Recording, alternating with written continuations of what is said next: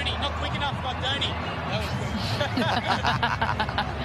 Well, the fastest hands in the game, I reckon, MS Dhoni.